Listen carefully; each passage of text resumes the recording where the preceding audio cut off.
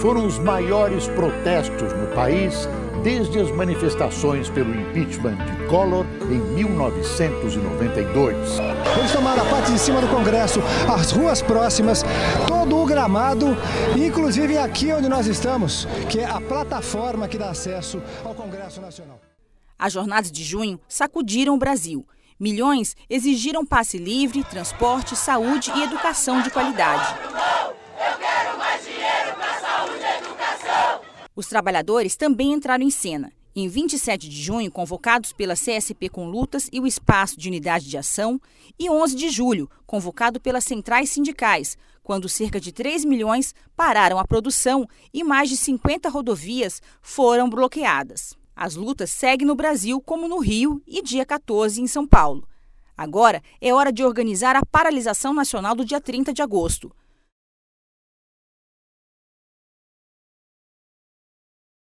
Vamos exigir que o governo Dilma mude a política econômica e atenda à pauta dos trabalhadores. Nós queremos melhoria da qualidade e diminuição do preço dos transportes coletivos. 10% do PIB para a educação pública. 10% do orçamento para a saúde pública.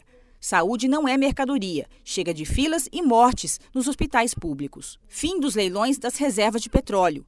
Redução da jornada de trabalho contra o PL 4330 das terceirizações.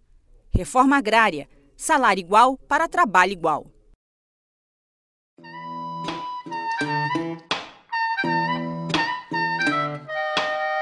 O que importa é a cor.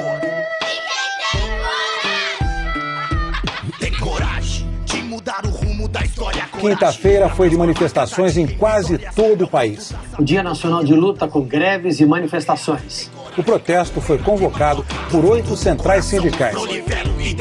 Centuplicando pão a cada passo de uma centopeia. Faço barulho, anemizo tensão. Hoje é o futuro, vivo, respiro mundão. Mas atenção, tem coragem de fazer um corre de sua norte. Eliminar as estatísticas, vencer a morte. Tem coragem, na humildade, irmão. Tira essa arma das mãos, joga essa arma no chão. O inimigo é outro, não seja o espelho. A doença contagiosa e irreversível. Alastrando medo, a covardia e justiça no paraíso da maldade. Na verdade, vencer é pra quem tem coragem.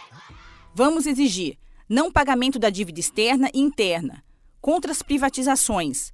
Chega de recursos públicos para as grandes empresas. Queremos dinheiro para a saúde e educação. Congelamento dos preços dos alimentos e tarifas públicas. Aumento geral dos salários. Redução da taxa de juros e fim do superávit primário. Chega de dar dinheiro para banqueiros. Contra toda forma de discriminação e opressão. Contra a criminalização das lutas.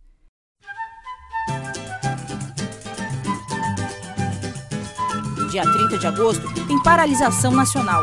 Participe, ajude a parar o seu local de trabalho, as escolas, as universidades.